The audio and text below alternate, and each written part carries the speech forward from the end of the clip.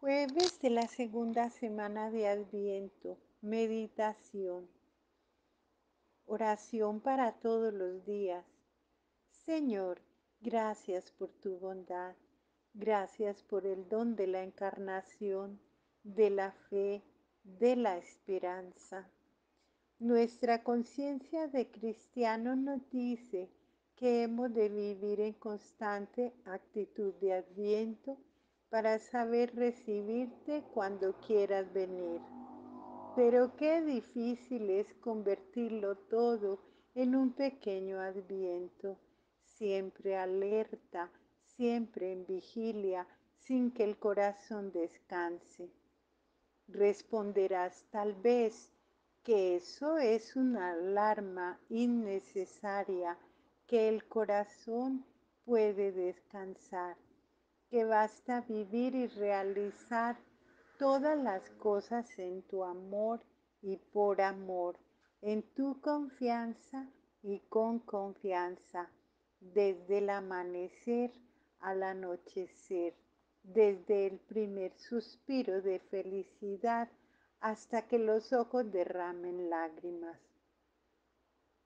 Bello camino es como decir, vivid en el amor en la paz, en el deber, en la justicia, en la oración, en la caridad y todo lo demás se está dando a manos llenas sin casi pensarlo, porque en todo está en amor pequeño el nuestro y el amor grande el de Dios.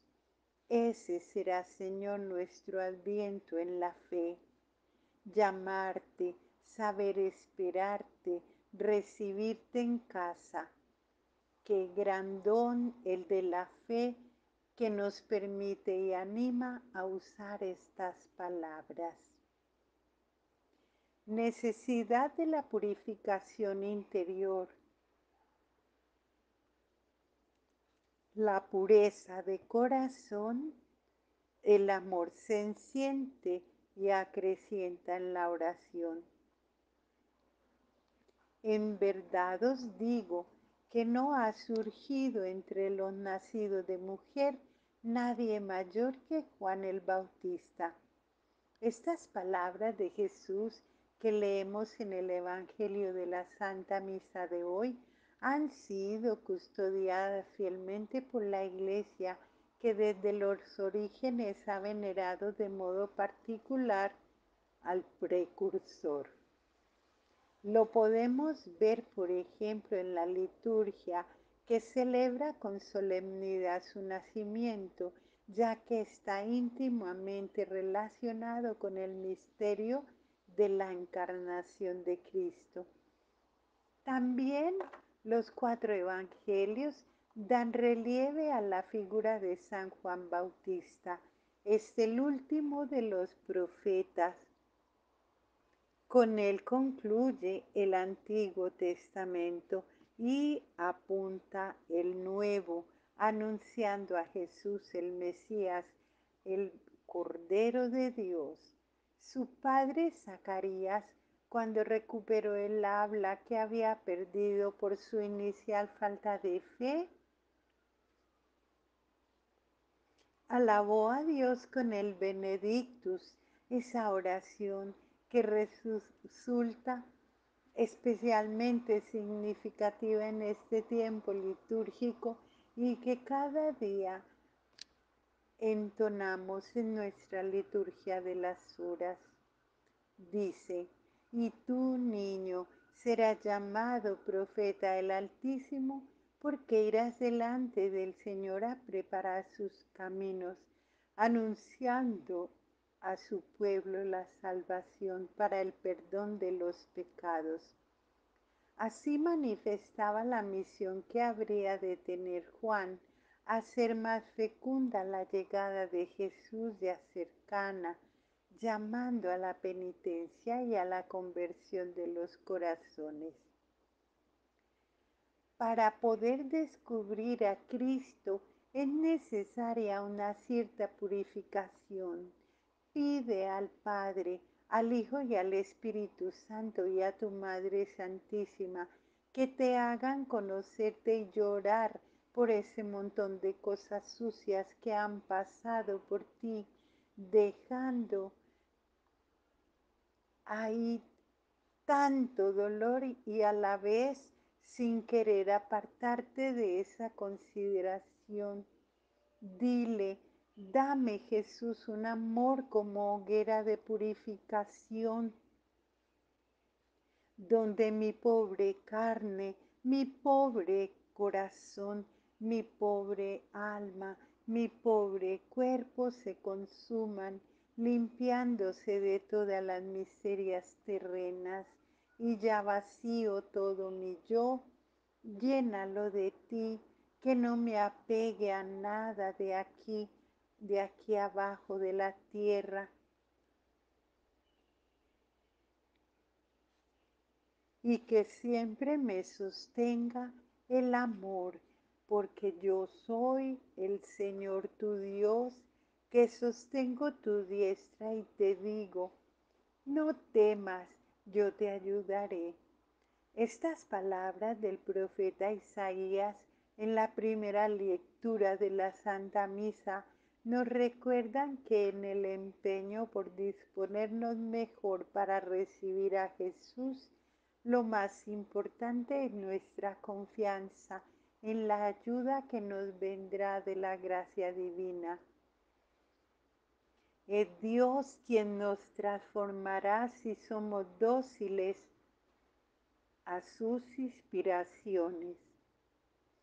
Así surgirá en nuestro corazón una vida nueva, se regenerará todo lo que quizá hasta ese momento permanecería estéril en nosotros, podremos saborear hecha realidad nuestra alma, esa dulce en nuestra alma esa dulce promesa del Señor.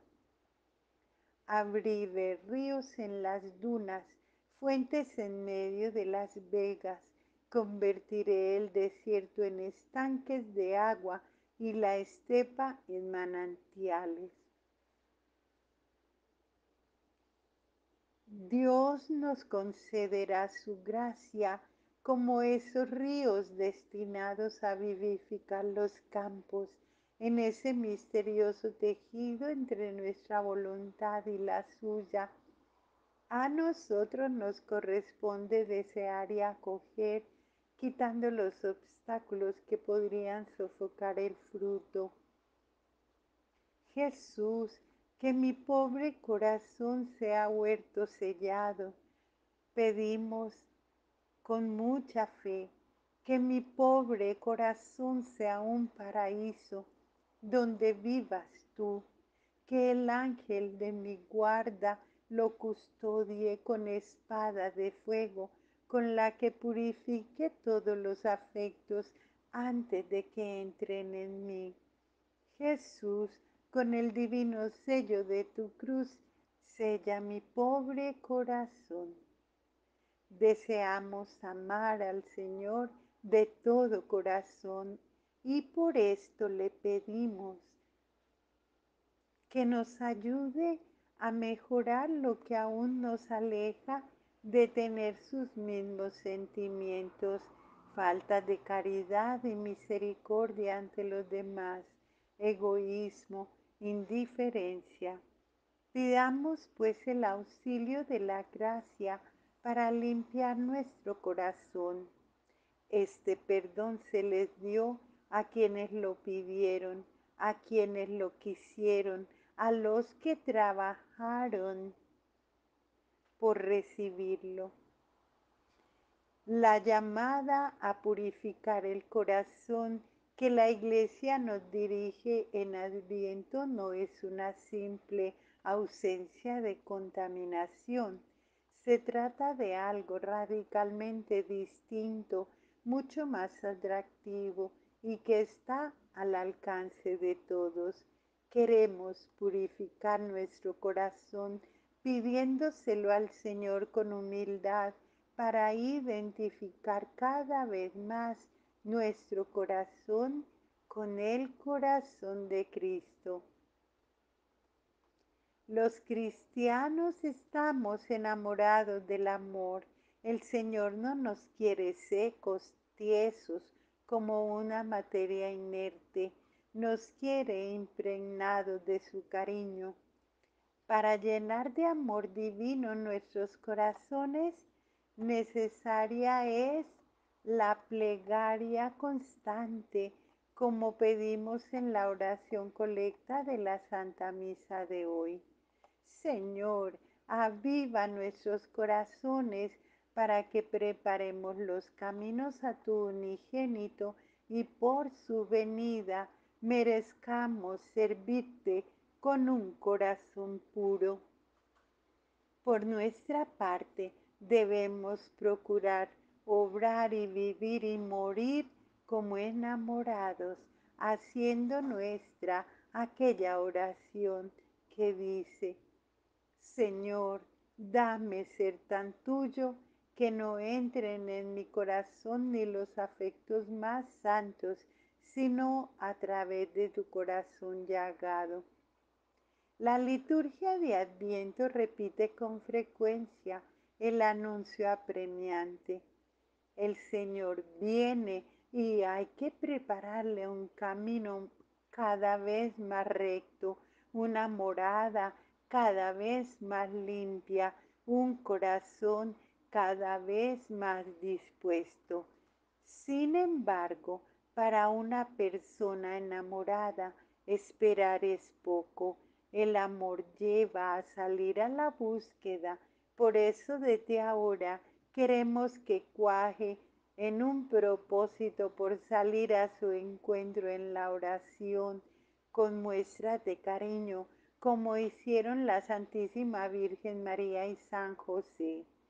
Queremos encontrar a Jesús en nuestras manifestaciones de piedad durante la jornada para decirle que le queremos, que nos duelen nuestras infidelidades, que estamos impacientes por recibirle.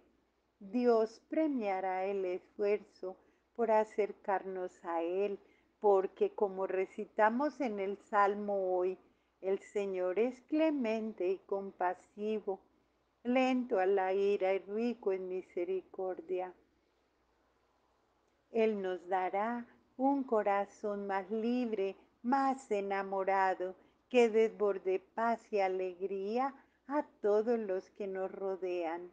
Para mayor certeza ser escuchados, acudamos a la Virgen, Madre del Amor Hermoso, siguiendo el consejo que nos dan los santos, tienes que decirle a la Virgen ahora mismo en la soledad, acompañada de tu corazón, hablando sin ruido de palabras.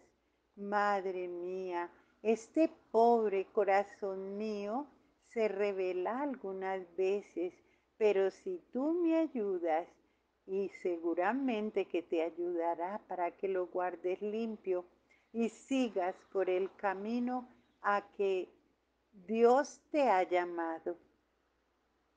Oración para todos los días al final de nuestra meditación. Padre Celestial, sana mi corazón durante este tiempo de adviento. Ayúdame a amar más plenamente perdonar más generosamente, esperar con más paciencia la Navidad, abrazando cada día y cada hora, sabiendo la alegría que nos espera. En tu nombre te lo ruego. Amén.